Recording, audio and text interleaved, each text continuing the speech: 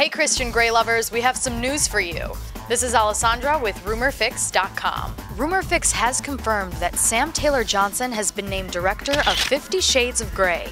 I'm excited to be charged with the evolution of Fifty Shades of Grey from page to screen, said Taylor Johnson. For the legion of fans, I want to say that I will honor the power of Erika's book and the characters of Christian and Anastasia. They are under my skin too. But who will play the roles of Christian Grey and Anastasia Steele? The names that keep coming up for Christian Grey include Ian Somerhalder, Henry Cavill, Alexander Skarsgård, Stephen Amell, and Matt Bomer. And who's rumored to be up for the role of Anastasia? Minka Kelly, Alexis Bledel, Allison Williams, Lucy Hale, Mila Kunis, and Emily Clark. Be sure to get your celebrity fix at rumorfix.com.